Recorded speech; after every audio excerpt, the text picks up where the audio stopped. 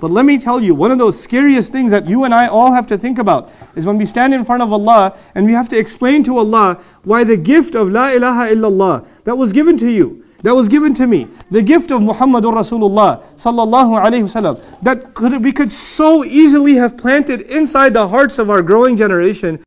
We failed to do it because we were too busy with other things too busy with other things, so that two generations down the road, one generation down the road, there's nobody left to say La ilaha illallah. We're going to have to answer Allah for that one. فطال عليهم الأمد فقست قلوبهم وكثير منهم فاسقون. A long period passed, their hearts became hard, most of them are corrupt. That's why I want to share these ayat with you. This concern is real. Don't think, everybody thinks their own family is immune. Their family is safe.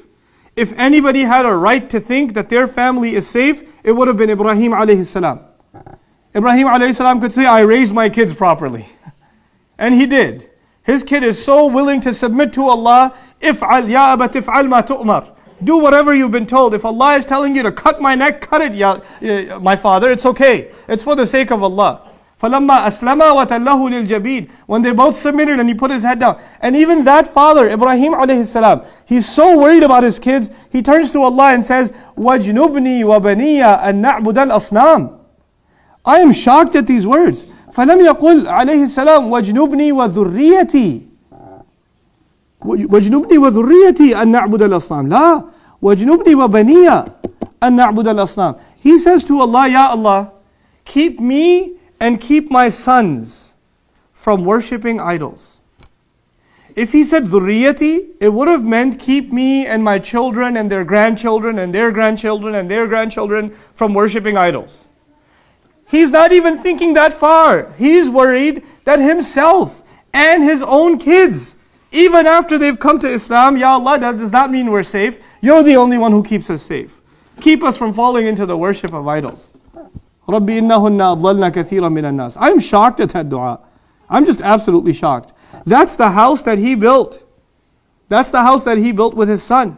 And he comes back and it's this thriving city where everybody worships Allah. And he's still worried that, Ya Allah, keep me and my children from worshipping idols, from falling into that.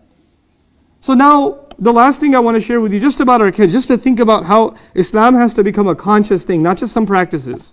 Not just we used to go to Jumu'ah. It can't, that's not going to be enough. I'm telling you now.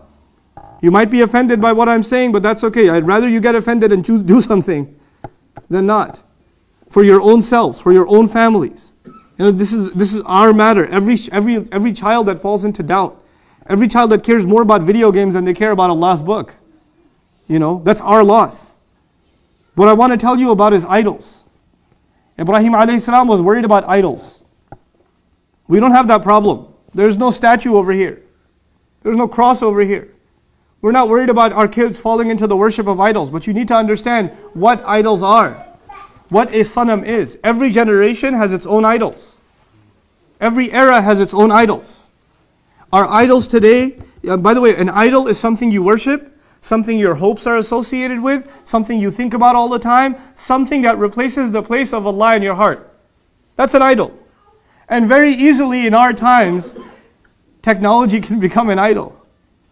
Very easily in our times, money can become somebody's idol that they worship. All they care about is money. All they care about is looks. All they care about is the gadget. You know? People are crying. People are crying because they can't make Hajj. And now you have people crying because they don't have the iPhone 6 Plus.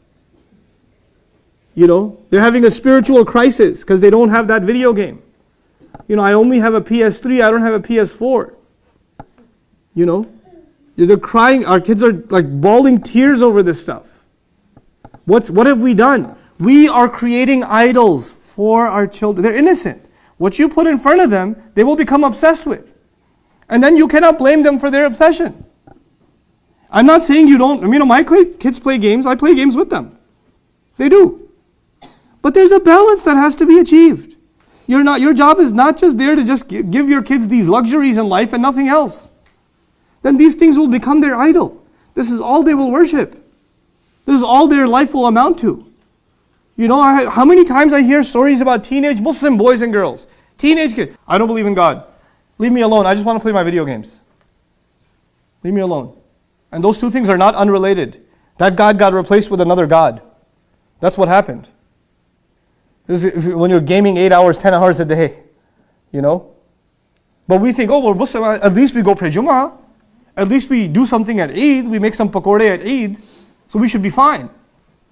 This is وَلَمَّا يَدْخُلِ الْإِيمَانُ فِي قُلُوبِكُمْ وَإِن تُطِيعُوا اللَّهَ وَرَسُولَهُ لَا يَلِتْكُم مِّنْ أَعْمَالِكُمْ شَيْئًا If you continue to obey Allah and His Messenger, none of your deeds will be wasted away.